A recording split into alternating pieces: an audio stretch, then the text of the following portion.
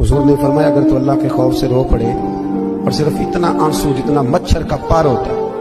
अगर इतना भी तेरी आँख से निकल गया तो तेरा दोजख में जाना इतना ही मुश्किल होगा जितना भैंस के थनों से निकले हुए दूध का दोबारा थनों में जाना मुश्किल होगा।